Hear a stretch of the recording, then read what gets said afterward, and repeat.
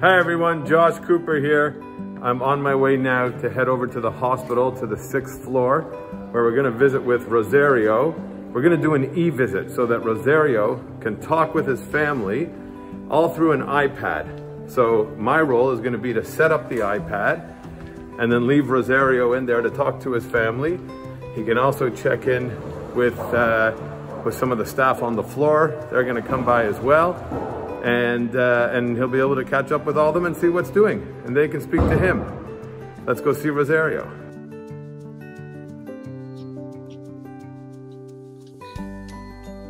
Oh, I got someone. Here, I'm gonna take you over to see Rosario, although, I don't know, do they have permission to call you Rosie yeah. too, or it's just me? Yeah, okay. I was told I could call him Rosie, so hold on a second. There's Rosie. Hi. That's your wife? Yeah. Beautiful. Isla? Okay. Ida. Hi, Isla. Hi, Ida. Yeah. It's hard to hear with a mask on. Well, I don't know. I'm sorry, Rosie. Can we flip oh. my screen? Yeah, it's easier to flip the screen than to flip your dad. Hold on well, let's try. Let's try the. the other there we go. There we go. How was physio? Okay. Okay. Yeah. It's okay today. Yeah. Yeah, that's good. Did you walk yeah. in the big room? Did you walk in the hallway or in the room? I walked in the big room there.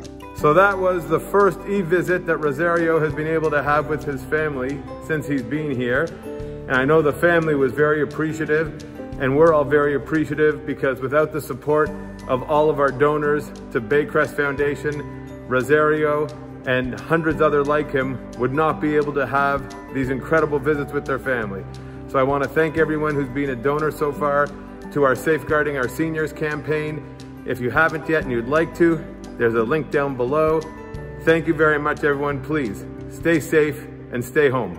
Thank you.